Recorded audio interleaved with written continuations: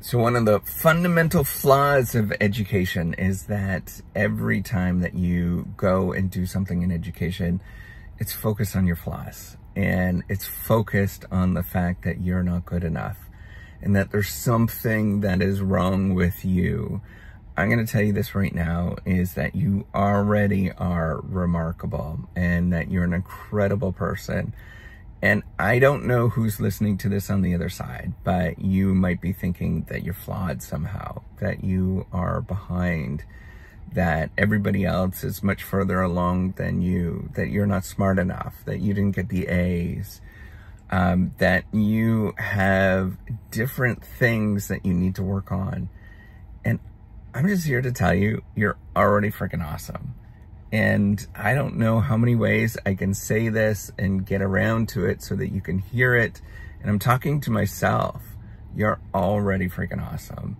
There is little that you can do to perfect or improve who you already are because you're already doing well. And I want everybody to know that is in education or getting an education or anything that's related to it. That is the fundamental flaw that we have. It is presumes that you are problematic. And I think a lot of people have trouble with that. I'm going to tell you this right now. You're not. You're amazing. And I think if there's one thing that I can change about education, it's the fact that I just want to repeat repeatedly for you and for everybody you're already remarkable. You're already doing well. If you get below an A, it is okay. You're gonna, you're gonna turn out just fine. The number of people before you that have not gotten an A or didn't pass a grade or flunked out and still are fine, it's, it's large, right? We, we sort of see this, that there is this correlation between education and success? Sort of. It's not, it's not that straightforward. And I want you to know that you are good enough. At the end of the day, you're good enough. Now, what you can do is get back up and get going again, knowing that you're good enough. It might hurt, it might sting, but get back up and do it again. Don't internalize any of that crap that um, education tends to make you think think about, where you are not great, that you're a problem, that you don't fit in, all of that kind of stuff. It's just crap. Come back to being a good person deep down inside and be that good person repeatedly. Keep trying every day. Keep getting up. Do good things repeatedly. And then all, everything will take care of it and take care of the rest, right? It's going to work out for you don't ever internalize any of that that negative garbage that comes your way because of education. Just pick up, get going, and try one more day.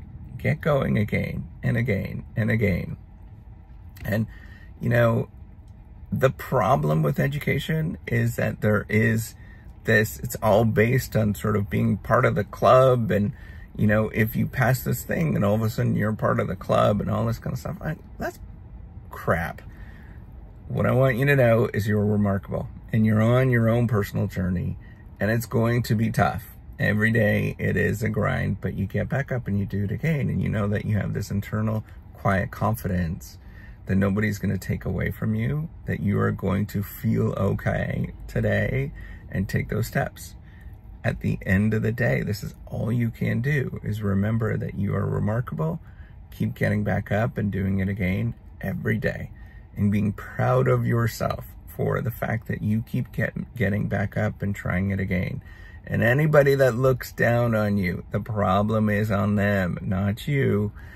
Anybody that sees that you are trying should be welcoming you and they should be happy with the fact that you are there. Ultimately, what we know is not the fact that you were successful in the past that matters. It's the fact that you keep trying every day that matters you just keep trying, getting back up and going every day. All right, take care and have a wonderful day. And by the way, any of those people that look down on you, say screw them.